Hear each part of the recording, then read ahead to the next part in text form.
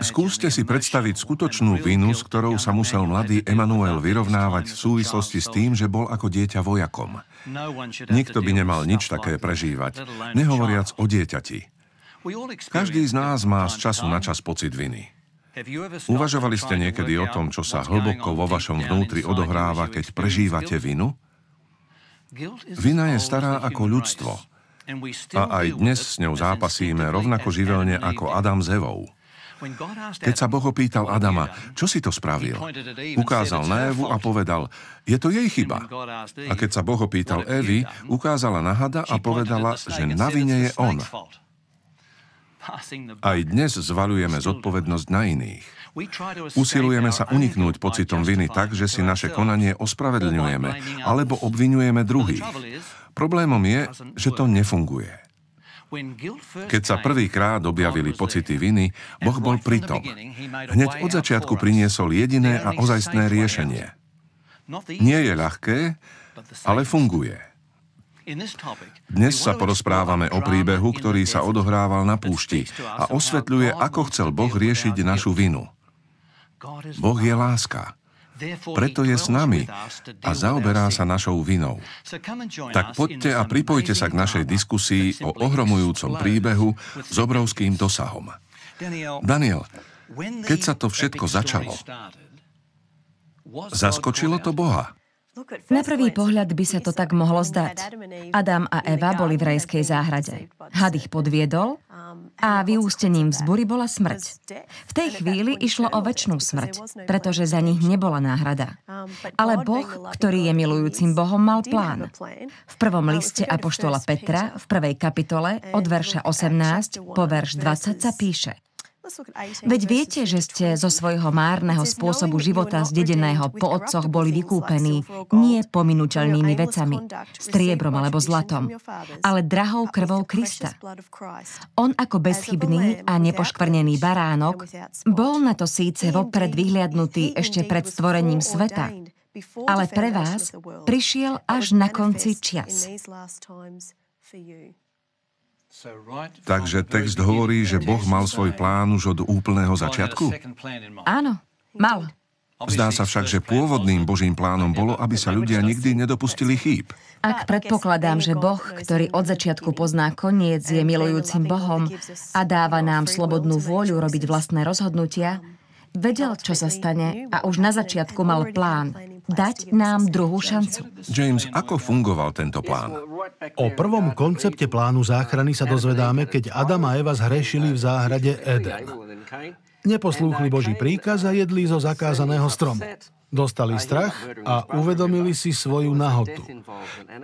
Keď za nimi prišiel Boh, skôr ako ich vyhnal z rajskej záhrady, zhotovil im šaty zo zvieracej kože, aby prikryl ich nahotu. Hovorí sa o tom v prvej knihe Mojžišovej 3.21. Je to prvá zmienka o tom, že hriech niečo stojí. V tomto prípade to bol život zvieraťa. Takže prvý hriech sa skončil smrťou zvieraťa. Mnohí vidia práve tu predobraz starozmluvných obetí. A práve tie boli predobrazom obete, ktorú napokon priniesol očakávaný Mesiáš.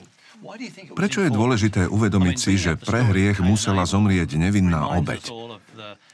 Neskôr sa dozvedáme, že zomiera aj Ábel rukou svojho brata Kaina. Prečo Boh neprijal Kainovú obeď?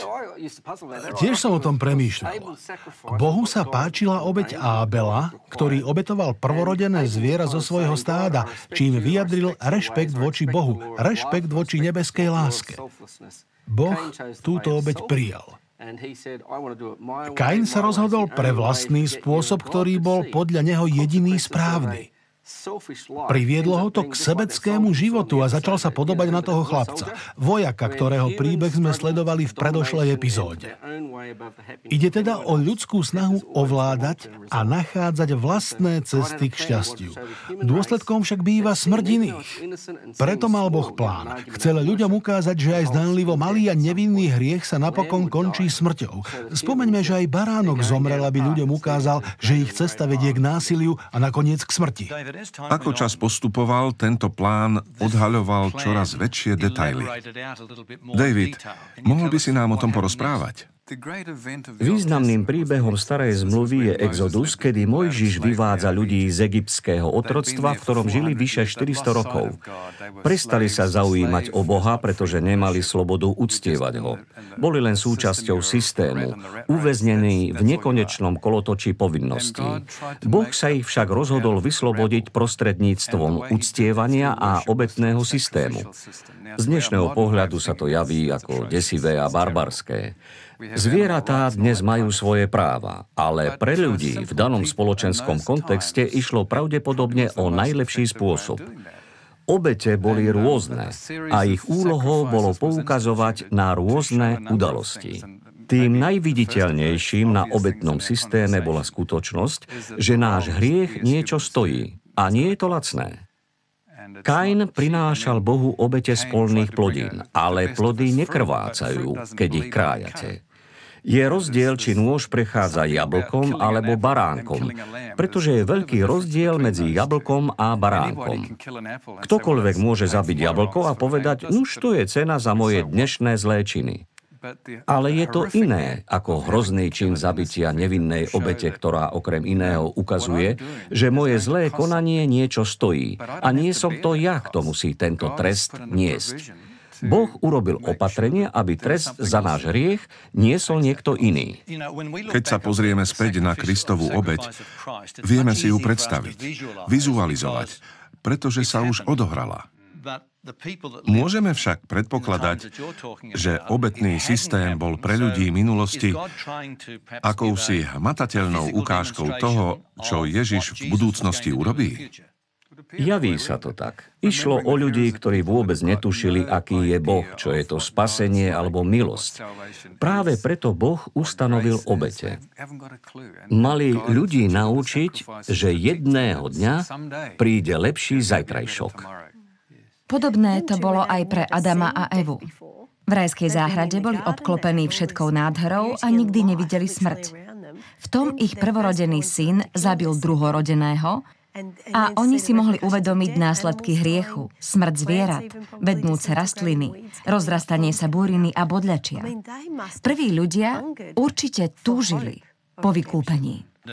David nám už naznačil systém obetovania. Čo sa teda dialo?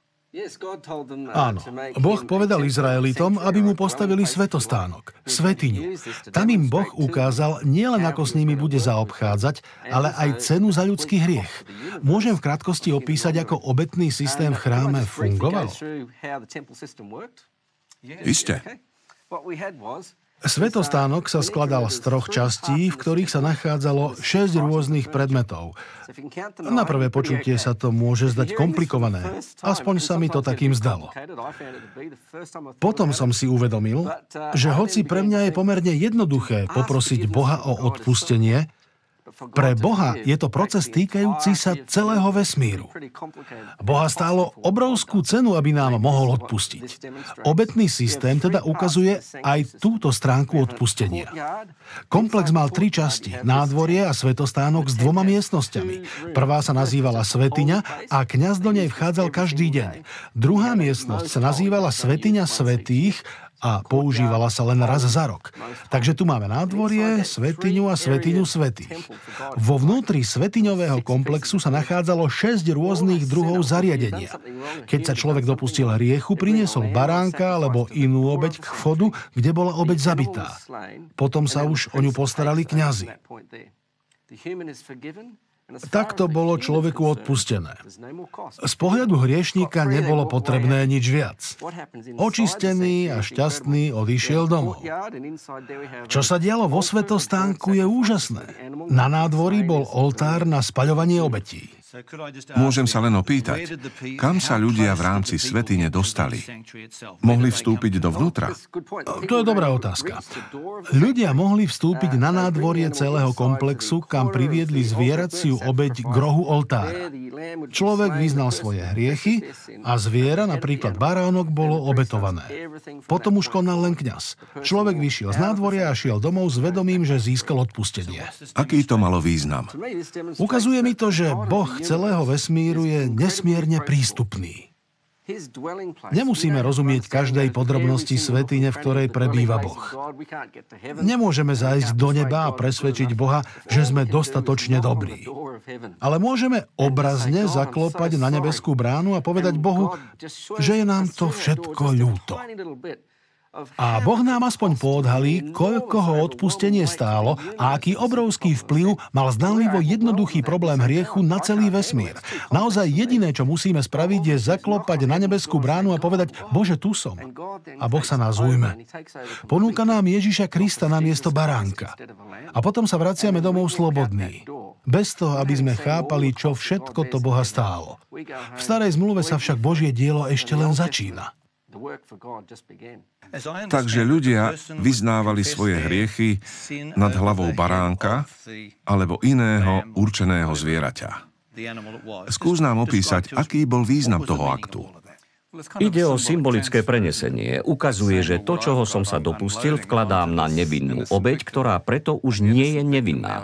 Ja sa takto stávam nevinným, lebo som sa zbavil svojej viny. Prešla na toho, kto teraz nesie môj hriech. Čo to pre nás znamená? Som slobodný, je to preč. Je mi odpustené. Všetká moja vina je prenesená na nevinnú obeď, ktorá samozrejme ukazuje na čas, keď Kristus vzal na seba hriech celého sveta.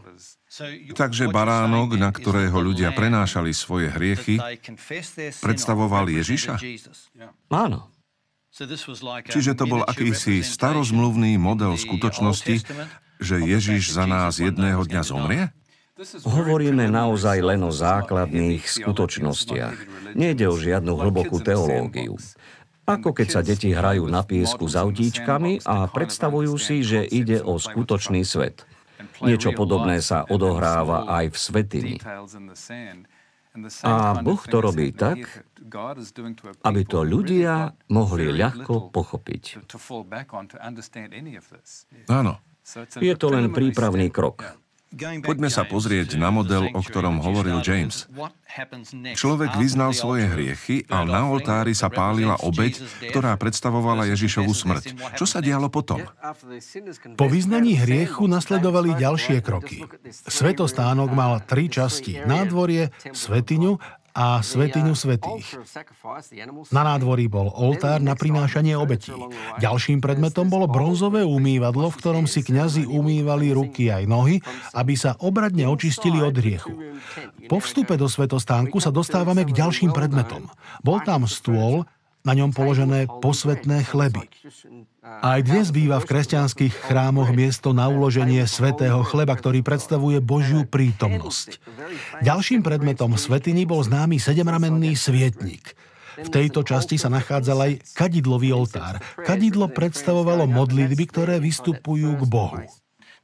Čo symbolizovali tieto tri predmety v svetini?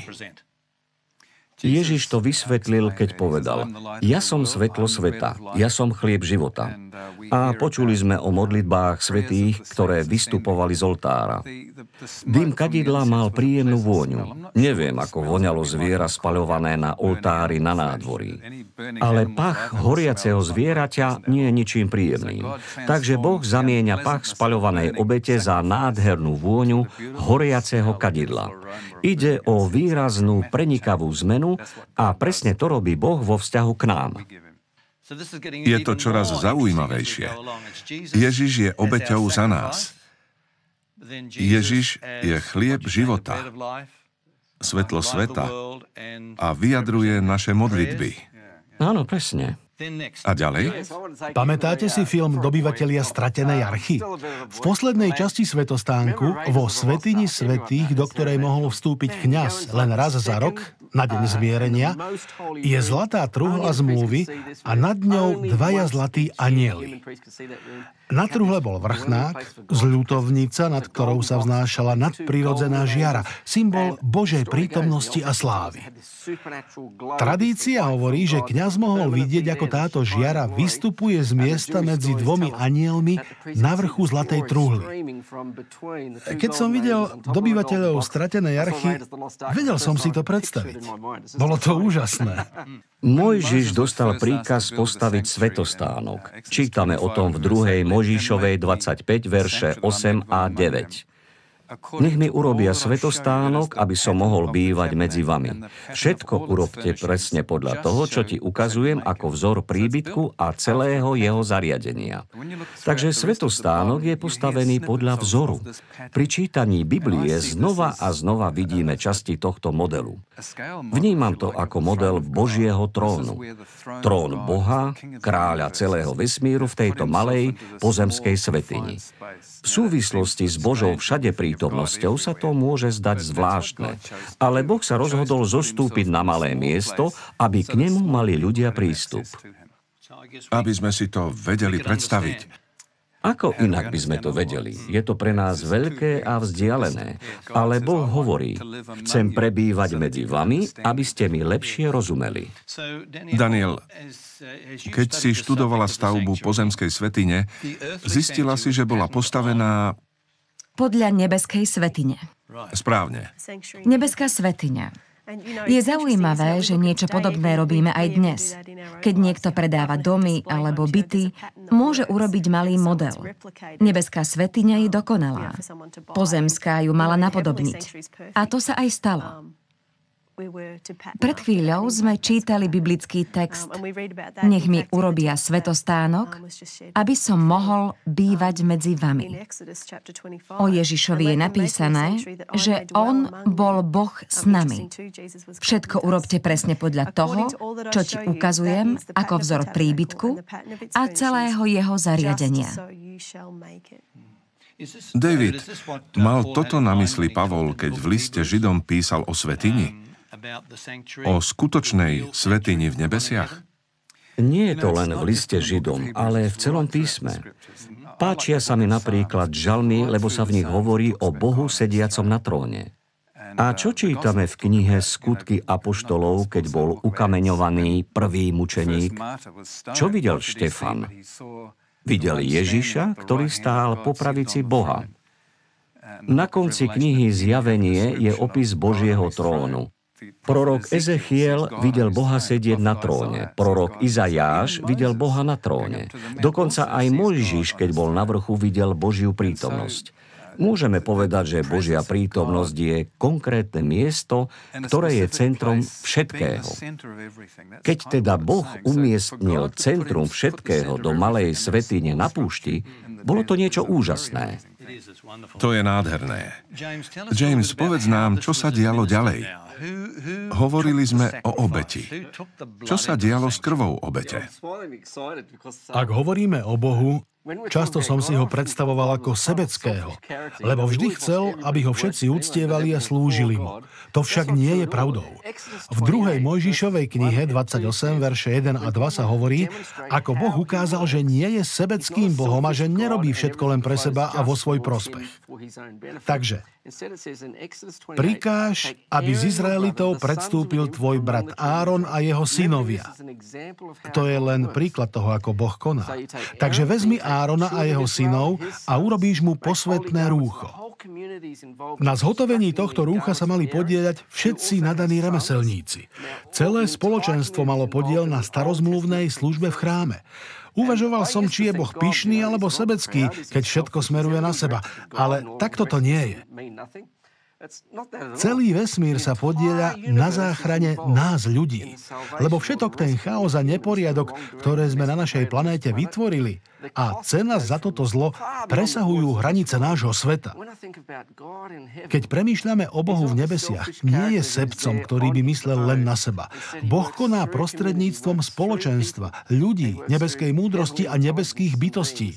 Tvoríme spoločenstvo. Všetci, dobrí aj zlí. Putujeme spolu viac, než si uvedomujeme. Ako povedal James, v tomto procese konajú rôzni ľudia rôzne úlohy. Keď sa však pozrieme do Novej zmluvy, vidíme, že Ježiš naplnil úlohu nielen obyčajného kňaza, ale veľkňaza, lebo len veľkňaz mohol vstúpiť do svetine svetých. A všetko to súvisí s Bohom. Áno, tak ako sa malé potôčiky zlievajú do riečok a tie spolu vytvárajú jednu obrovskú rieku. Podobne aj Ježiš vytvára z malých potôčikov mohutný veľtok. Všetci kňazi ukazovali na Ježiša, na toho, ktorý nám všetkým slúžil a koná službu pred Bohom v náš prospech. Najviac ma udivuje, že každý aspekt svetostánku predstavuje Ježiša a rôzne aspekty jeho diela. Plán spasenia je taký komplexný, že jednotlivé časti nemôžu úplne vystihnúť všetko, čo Ježiš vykonal. Hovorili sme, že nielen kňazi predstavovali Ježiša, ale aj celý svetostánok ukazoval na Ježiša. Pred mnohými rokmi som čítal knihu o Alici, ktorá sa zaplietla do obchodu s drogami. Alica povedala, Boh mi môže odpustiť, ale ako môžem odpustiť sama sebe? Táto myšlienka ma prenasledovala roky a myslím si, že podobne uvažuje mnoho ľudí. Naša dnešná téma nám ukazuje, kam až bol Boh ochotný zájsť pre našu záchranu.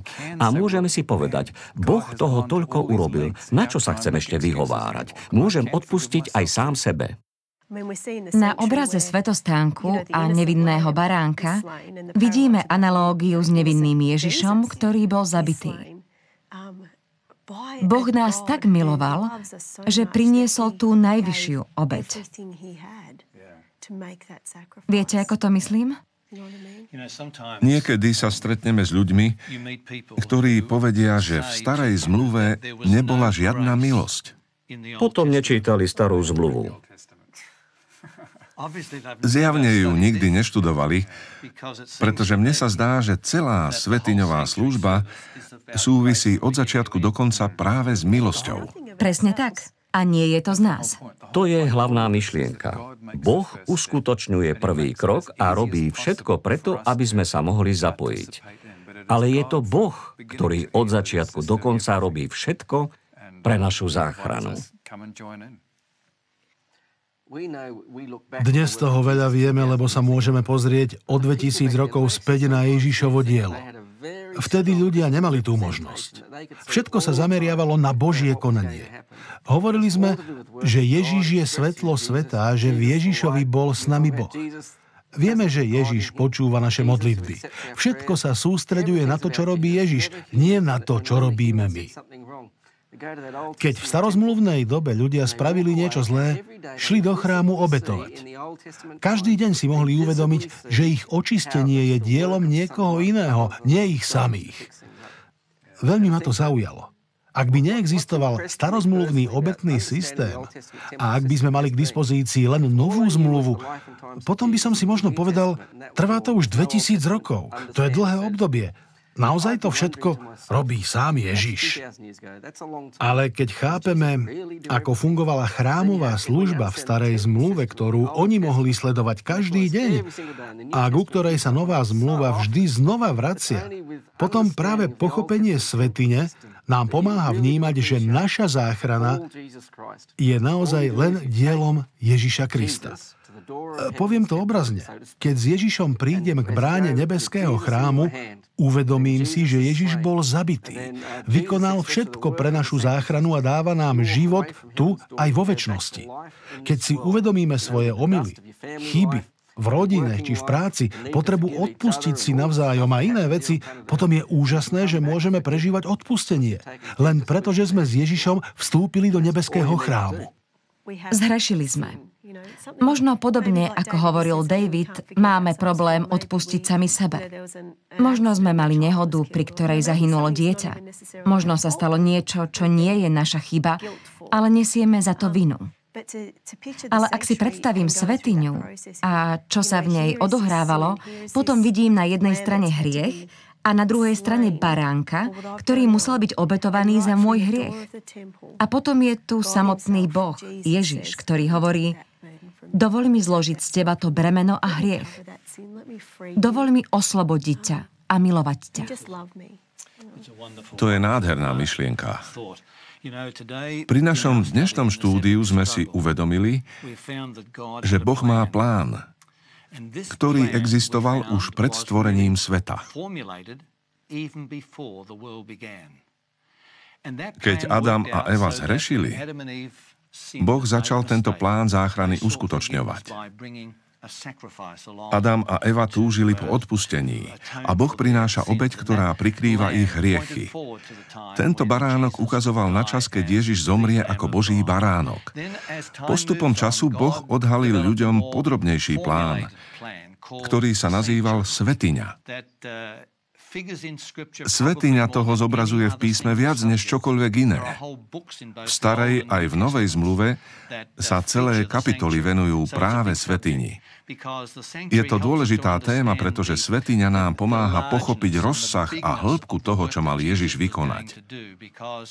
Ježišova smrť na kríži je totiž súčasťou celého príbehu. Videli sme, že Ježiš pre nás koná dielo veľkňaza. Každý starozmluvný kňaz mal poukazovať na Ježiša. Ježiš bol naplnením celého obetného systému. Pripomína mi to nádherný text v prvom Jánovom liste, v prvej kapitole vo verši 9. Ak vyznávame svoje hriechy, On je verný a spravodlivý. Odpustí nám hriechy a očistí nás od všetkej neprávosti. Nie ste za to vďační? Ja prežívam veľkú vďačnosť. Nech sme urobili čokoľvek, nech sme sa zaplietli do čohokoľvek, nech sme sa v minulosti dopustili akéhokoľvek hriechu, Biblia hovorí, že keď úprimne vyznám svoju chybu, Boh mi milostivo odpustí. A ak odpustil Emanuelovi z nášho príbehu, potom môže odpustiť aj vám. Keď vyznávame svoje hriechy, Ježiš z nás berie všetky viny a všetky krivdy. Každý deň sa teším z poznania a z istoty odpustenia, ktoré každý deň prežívam. A keď premýšľam o tom, čo Ježiš urobil, chcem sa aj teraz za vás modliť, aby vám Boh pomohol pochopiť odpustenie, ktoré prichádza, keď vyznávame hriechy. Skloňme hlavy k modlitbe. Náš nebeský Otec, ďakujem Ti za to, čo pre nás vykonal Ježiš. Ďakujem ti za nádherné slová, že keď vyznávame svoje hriechy, nech sme urobili čokoľvek, ty si verný a spravodlivý a odpúšťaš nám.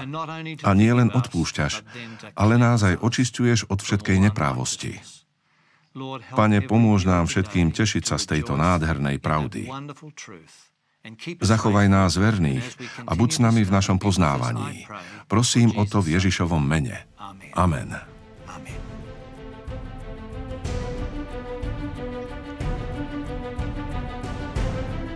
V slovenskom znení účinkovali Ivo Gogál, Zuzana Kizeková, Peter Kolárik a Juraj Predmerský.